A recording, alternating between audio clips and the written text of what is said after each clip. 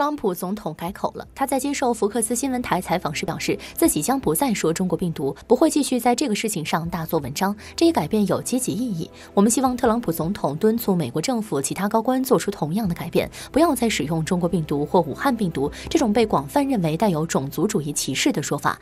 近来美中之间发生了激烈的言语冲突，它显然是美方主动挑起的。当前疫情仍在全球失控蔓延，世界急切期待中美搁置前嫌，携起手来共同抗疫。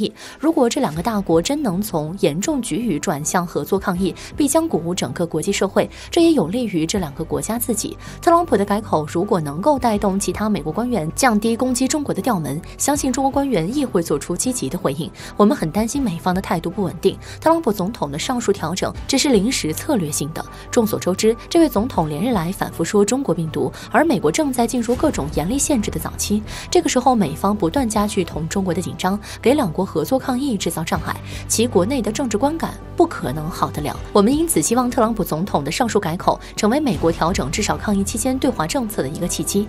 那些被恶意夸大的中国威胁，哪有现实的新冠病毒威胁来的真实？后者的破坏力正在美国社会中以裂变的方式疯狂释放，它才是美国的凶恶敌人。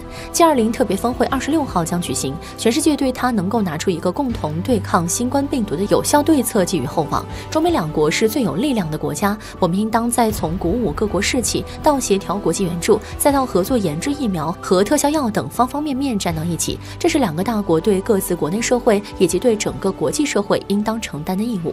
战胜新冠病毒是全人类的共同期望。希望美国政府根据他们的利益制定政策时，不要忘了顺势而为和从善如流的道理。逆势而行，即使一时能有些许收获，也一定会事倍功半。